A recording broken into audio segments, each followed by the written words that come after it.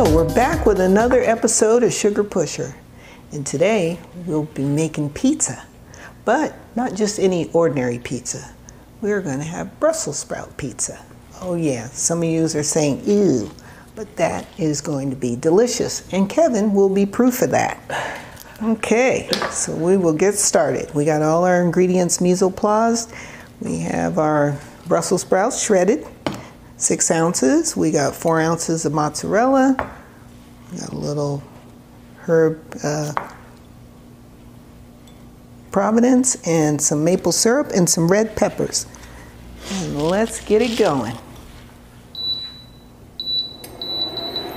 All right, gonna get our pan hot a little bit as we slice up our onion, our onion. And yes, now our dough. With the pizza dough, you can make your own or you can purchase some. Most grocery stores have pizza dough. Or if you have time, you can make it yourself. But then again, nobody has time for that. So, all right, we're gonna put a little tablespoon of oil in here.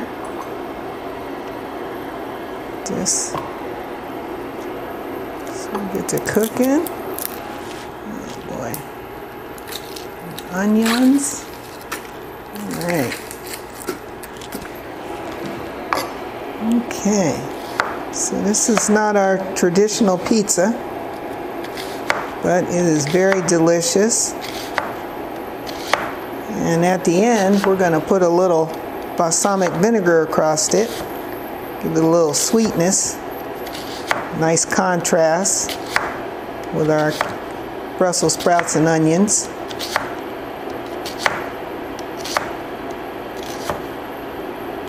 Okay, so we're gonna saute our onions. Saute these up. Hmm. Of this one. Okay. Right. We're gonna let these saute for about six minutes.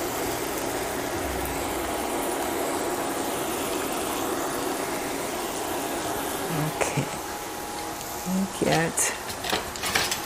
All right. We're gonna cook these down.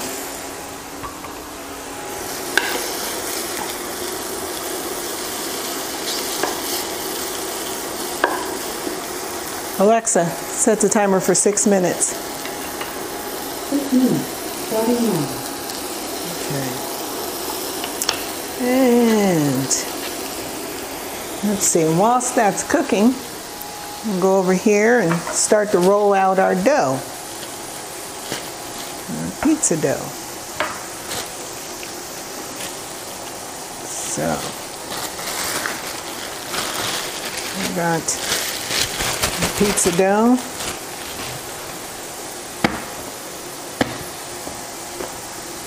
We're just gonna flour our, surface here. That around. Get all our air bubbles out. This is sticky for some reason. All right.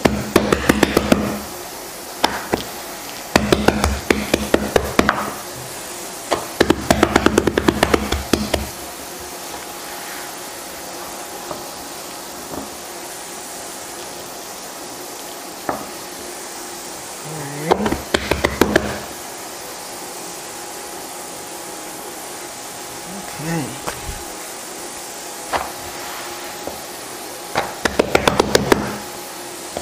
Alright. Yeah. You don't have to do anything fancy. You can even roll this out with a rolling pin if you want to. Make sure your pizza dough is a little room temperature so it's a little more flexible and not so tight. Loosen up all that gluten that's in there. And see how easy that's coming together. Alright. And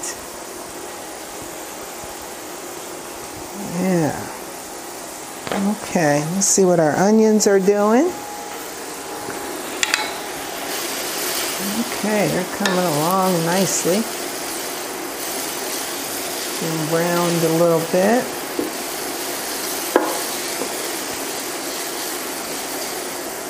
All right. So, yeah, it's looking pretty good.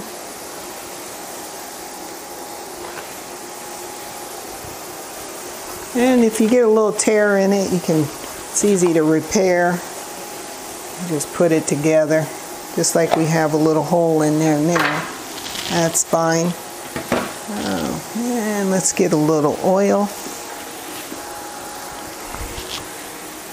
Okay. Put a little oil down.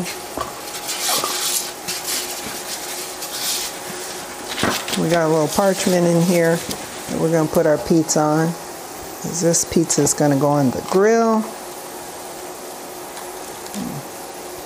Okay. Me go this way. Yeah. Right on. Okay. We'll just stretch it out to fit the pan. Yeah. See how easy that is, huh? Where's our little hole? See, and we just patch that over. Yeah, rolled this out kind of thin. Not too bad.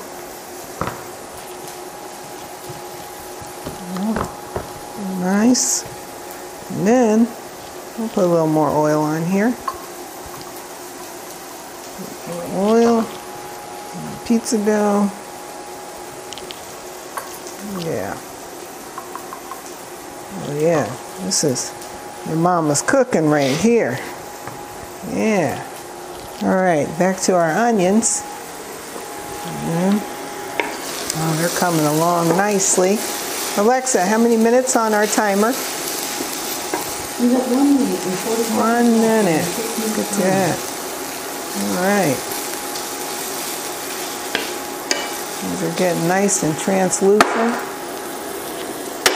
And so we want to salt this up a little bit.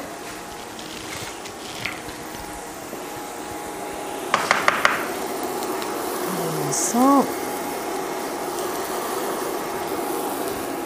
We'll add some nice red peppers. Not too hot for Kevin. Not trying to hurt nobody. Okay. The onions are looking good and smelling good. Smelling good, Kevin? Yeah. Yeah. Almost time for our Brussels sprouts. And I shredded these myself in the food processor, but you can get these shredded in the store, especially Trader Joe's. So, but I like to do my own because I don't know, they seem to have a little more flavor when you shred them yourself. And you can shred them as, as how you want. I don't care what Lexus says. Okay, we're going to add our Brussels sprouts in. All right. Cook these, cook this till our Brussels sprouts cook down. Oh, yeah. Add a little more oil.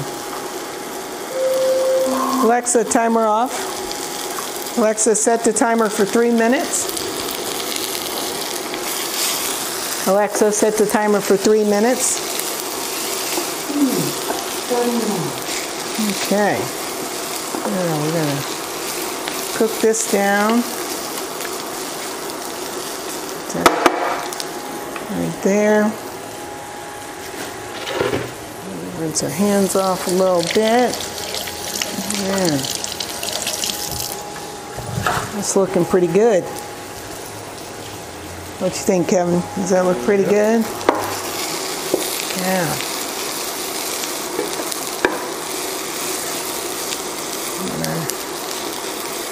Cabbage get cooked a little bit. This pizza is good for kids. They won't even realize how delicious Brussels sprouts taste when they eat it on pizza.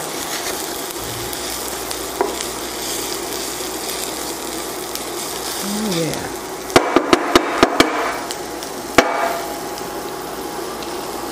All right, we got some mozzarella cheese here that we shredded up. Of course, you can get this shredded also, but again, I like to shred my own.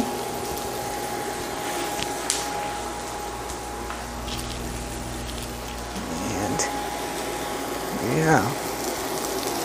Okay.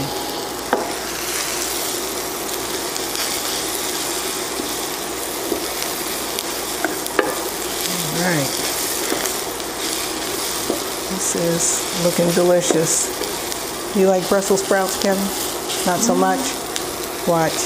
Make you a Brussels sprout believer when you, when you, when you taste this.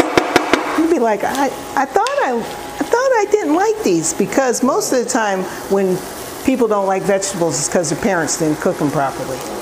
You know, um, they've had them cooked wrong. And as kids, we, for whatever reason, we don't like vegetables much. Till we get a little older. But I think Brussels sprouts are, they're overlooked. And they can be very delicious when they're properly cooked.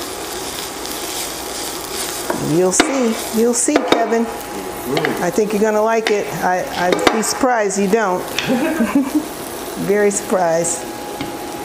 Okay, we don't need our peppers anymore. We're good with that. Okay. And it's really, this dish doesn't take that long. It really doesn't. 'Cause we're almost there. Oh yeah. All right. Good. Okay.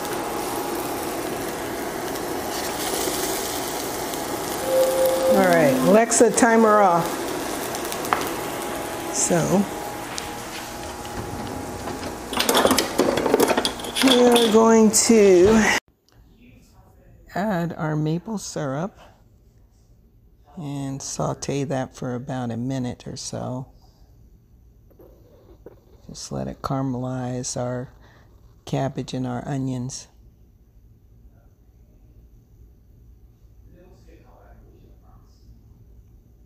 Looks pretty good.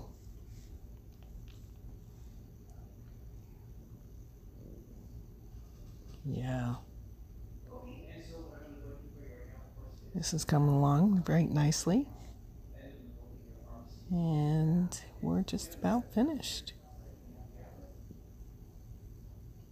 Just let those flavors mesh together.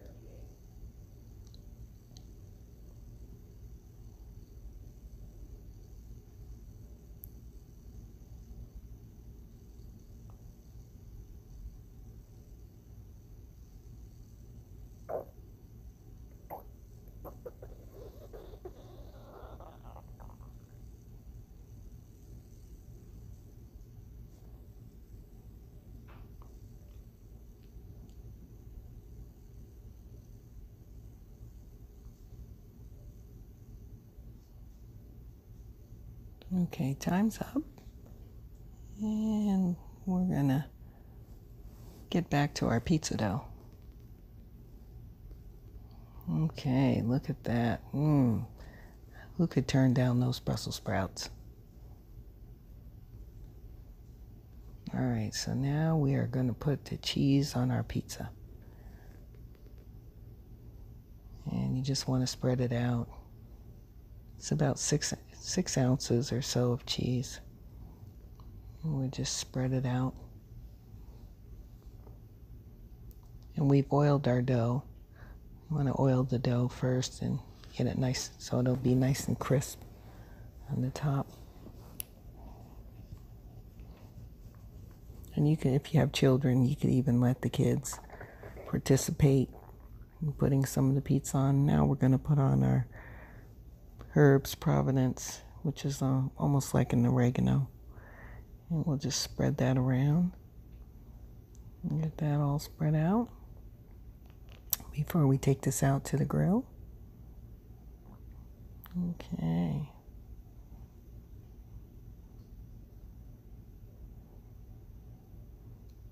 All right, and now we're going to put our vegetables on our pizza. Yeah, okay. We'll just sprinkle it on, try to get it evenly on our pie.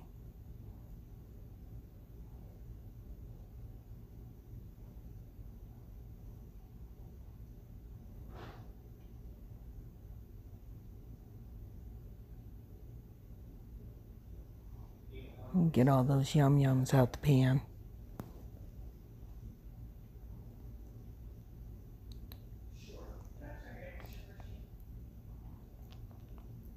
You spread it out just as even as you can get it. And leave the ends, leave your, your edges. Don't spread it all the way out to the edges. Leave enough room for the crust.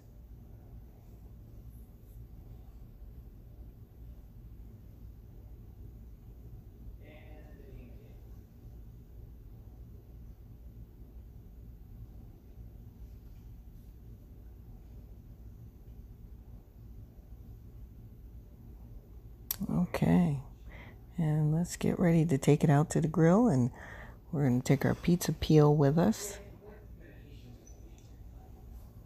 And to the grill we are going.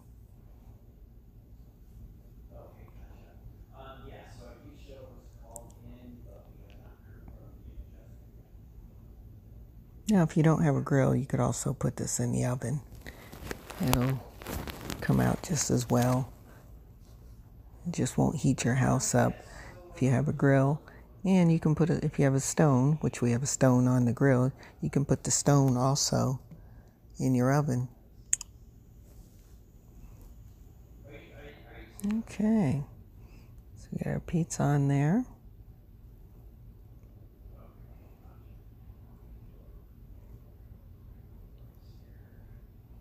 All right, we're going to let that cook for about five minutes.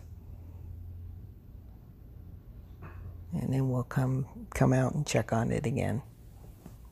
Okay, so we're back. We're back out here. I'm gonna check on our pizza, see what it's doing. Oh, it's looking good. Look at that. It looks great. Oh, yeah, it's almost done. It does not take long once it gets started. Oh, yeah. So, of course, I'm having a hard time here. It usually doesn't stick. It's sticking a little bit, but no worries. We, this is why we. It's important to have our pizza peel. Yeah, there we go. I'm gonna get it out the pan because we're gonna put this directly onto the stone because we want that uh, crust. We want the bottom crust to be nice and crisp, just like they uh, do at the pizza place. Yeah, here we go. Come on out. Yeah, usually it's not a struggle, but just because I'm showing us, filming this, of course, we're having difficulty. It's usually not that difficult.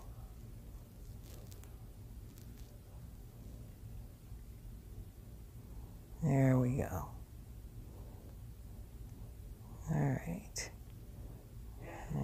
Slide it on. All right. And we're going to put it directly on the stone. And we'll put it in for another three or four minutes and see how that does. And we'll be back.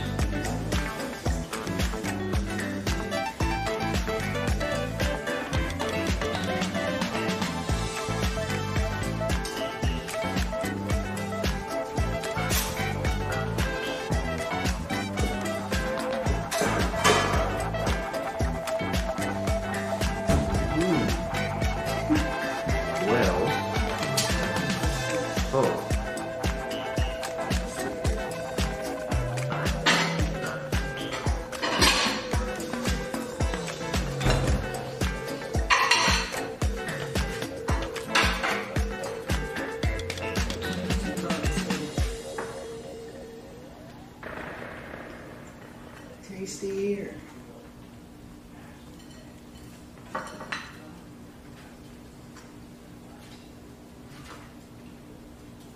Yeah, no, it's pretty good, and I do not like Brussels sprouts. I do not like Brussels sprouts, and you can barely. There's a faint taste of Brussels, right. obviously, to give you that. Yeah. You know, this is what it is. Yeah. But as far as everything else, you can't. You can't really tell. You can't really tell you probably really like the tomato uh, pesto.